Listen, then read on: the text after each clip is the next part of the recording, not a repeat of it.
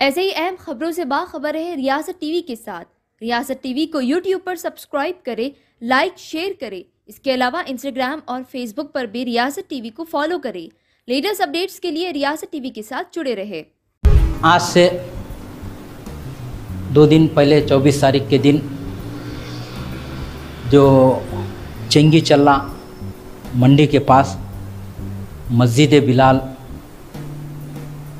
के पास तकरीबन पाँच बजे के टाइम पर असर की नमाज़ के टाइम पे चंद सरपरस अनासिर मस्जिद के सामने लाउड स्पीकर लगाकर नमाज़ के टाइम पर वहाँ पर वहाँ के माहौल को ख़राब करने की कोशिश करे और मुसलियान मस्जिद और मस्जिद के ज़िम्मेदारान वो लोग को बताए कि नमाज़ के टाइम पर आप लाउड स्पीकर बंद करिए बोलकर तो वो लोग सरंगेजी करते हुआ वहाँ के हालात ख़राब करना चाहे, इसकी इतला मिलते ही सदर मोहतरम नकब मिलत अलहाज बैरशर असदुद्दीन अवसी साहब ने राचाकुंटा सीपी जनाब तरुण जोशी साहब से बात किए और हालात को जो बिगड़ रहे थे हालात को रुकाने के लिए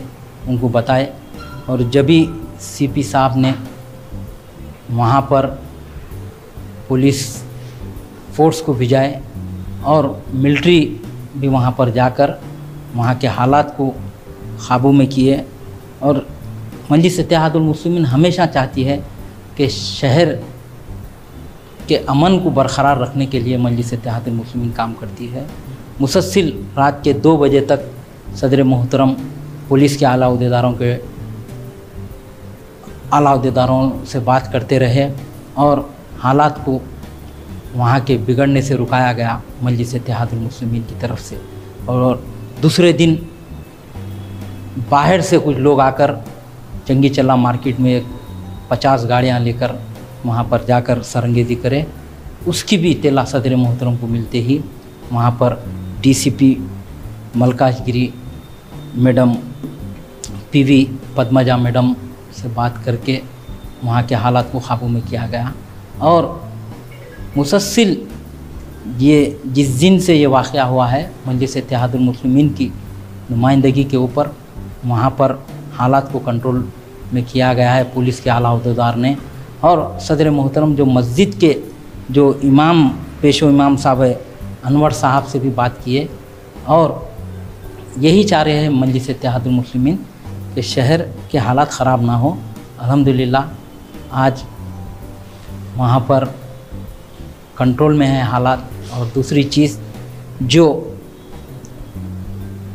वहाँ पे पाँच जनों को अरेस्ट किया गया है, उनके ताल्लुक़ से भी मजलिस इतिहादुलमसलिमिन की तरफ़ से, मजलिस इतिहादुलमसलिमिन की जानिब से वहाँ पर वकीलों को लगाया गया है। वो लोग भी वहाँ पर ऐसे ही अहम खबरों से बाखबर रहे रियासत टीवी के साथ।